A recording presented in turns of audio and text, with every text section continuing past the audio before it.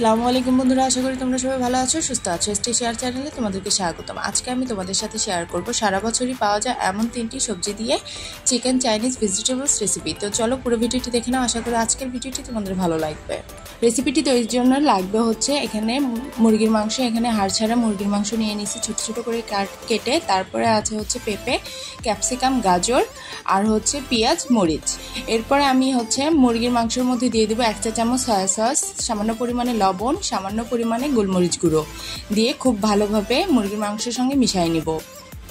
এরপরে এখানে দিয়ে দিব হচ্ছে আধা চা চামচ আদা রসুন বাটা দিয়ে খুব ভালোভাবে মুরগি মাংসের সঙ্গে মিশায় আমি রেখে দেব সাইডে। তারপরে একটা পাতিলে দিয়ে দিব পানি। পানিটা একটু গরম হয়ে আসলে এর ভিতর দিয়ে দিব হচ্ছে পেঁপে, গাজর। পেঁপে আর গাজরটা হালকাভাবে একটু ভাপ দিয়ে নিব, তবে একদমই কিন্তু সিদ্ধ করে নিব না। আর গাজরটা এখানে কিন্তু আমি ছোট ছোট করে পাতলা করে কেটে নিয়েছি। পেঁপেটাও কিন্তু লম্বালম্বি রাখছি, তবে পাতলা করে কেটে নিয়েছি।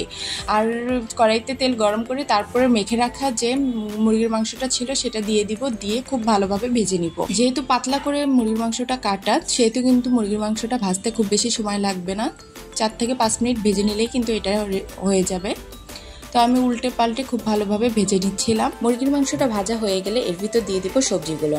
পেঁপে আর গাজরটা আমি আগে থেকে ভেপে নিছিলাম। তো একটু ভেপে নিয়ে কিন্তু খুব ভালোভাবে পানিটা ছড়াই মুরগির মাংসের মধ্যে দিয়ে দিলাম। তারপরে দিয়ে দেবো হচ্ছে ক্যাপসিকাম। এখানে কিন্তু আমি সবুজ ক্যাপসিকামটা দিয়ে দিচ্ছি। তোমরা চাইলে অন্য যে কোনো ক্যাপসিকামও দিয়ে দিতে পারো। তারপরে কিন্তু ক্যাপসিকামটা দিয়ে খুব ভালোভাবে আমি হচ্ছে মুরগির মাংসের সঙ্গে মিশাই নিব। তো একটু ভাজা ভাজা করে নিয়ে আমি এর ভিতর দিয়ে দিব লবণ। লবণটা খুবই সামান্য পরিমাণে দিব। যেহেতু যেহেতু আমি আগে মুরগির মাংসের মধ্যে লবণ দিছি আবার সয়া সসে লবণ আছে, সেহেতু কিন্তু বুঝে শুনে লবণের পরিমাণটা দিতে হবে। তো অল্প পরিমাণে লবণ দিয়ে আমি সবজিগুলো ভালোভাবে নাড়াচাড়া দিয়ে নিব। এরপরে দিয়ে দেব হচ্ছে পেঁয়াজ আর মরিচ। পেঁয়াজটা আমি বড় সাইজে নিয়েছি চার ফালি করে তারপর পাপড়িগুলো ছড়ায় আমি সবজির ভিতর দিয়ে দিলাম আর মরিচটা মাছ বরাবর কেটে আমি ফালি করে নিছি। তো সমস্ত উপকরণগুলো খুব সুন্দরভাবে একটুখানি ভেজে এর মধ্যে দিয়ে দিব হচ্ছে গোলমরিচ গুঁড়ো। গোলমরিচ গুঁড়ো দিয়ে আবারও নাড়াচাড়া দিয়ে নিব, তারপরে তারপরে দিয়ে দেবো। সামান্য পরিমাণে পানি। যেহেতু আমি পেঁপেটা ভেপে নিছি, আর পেঁপে আর গাজরটা ভেপে নেওয়া আছে, সেহেতু কিন্তু অল্প পরিমাণে পানি দিলে সমস্ত সবজিগুলো খুব সুন্দরভাবে সিদ্ধ হয়ে যাবে। তো অল্প পরিমাণে পানি দিয়ে খুব ভালোভাবে নাড়াচাড়া দিয়ে আমি রেখে দিব। তো নাড়াচাড়া দিয়ে কিছুক্ষণ রেখে দেওয়ার পরে এর ভিতর দিয়ে দেবো আমি কর্নফ্লাওয়ার। তো একটা বাটিতে আমি এখন দু চা চামচ কর্নফ্লাওয়ার নিয়ে নিছি। এর ভিতর দিয়ে দেবো নর্মাল পানি। পানিটা দিয়ে খুব ভালোভাবে একটা লিকুইড তৈরি করে নিব। তবে এই কর্নফ্লাওয়ারটা কিন্তু আমি সম্পূর্ণটা দিয়ে দিব না। অল্প অল্প করে দিয়ে দিব। দিয়ে বুঝব যে ঠিক কতটা পরিমাণে লাগবে। তো চামচ দিয়ে আমি এখানে দিয়ে দিচ্ছি খুবই অল্প পরিমাণে। তবে এখানে কিন্তু যে লিকুইডটা আমি তৈরি করে রাখছি, সেটা কিন্তু অর্ধেকটা দিলে আমার হয়ে যায়। তো তোমরা দেখেই বুঝতে পারছ লিকুইডটার ঘনত্বটা ঠিক কতটা চলে আসছে। তো এরম একটা থকথকে ঘনত্ব চলে আসলে কিন্তু এই ভেজিটেবলসটা আমার রেডি হয়ে যাবে। আর এইটাতে কিন্তু একটুখানি এরকম মাখো মাখো থেকে থাকে।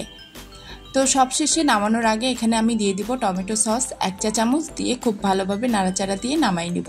তবে সবজিগুলো দেখে তোমাদের মনে হবে সিদ্ধ হয়নি। তবে হ্যাঁ এটা কিন্তু সমস্ত সবজি সিদ্ধ হয়েছে, তবে সিদ্ধ হয়ে একদমই গলে ফেলাইনি তো এটা এখন নামাই নিব। তো দেখো, একটা প্লেটে আমি উঠাই নিলাম আর সমস্ত সবজিগুলো নিয়ে কিন্তু আস্ত আছে, একদমই গলে যায়নি। আর সমস্ত সবজি কিন্তু সিদ্ধ হয়ে গেছে। তো দেখতে খুব ভালো লাগছে, তোমরা দেখে বুঝতে পারছ। আর এটা কিন্তু খেতেও অনেক ভালো লাগে। তো তোমরা চাইলে এটা বাসায় ট্রাই করতে পারো।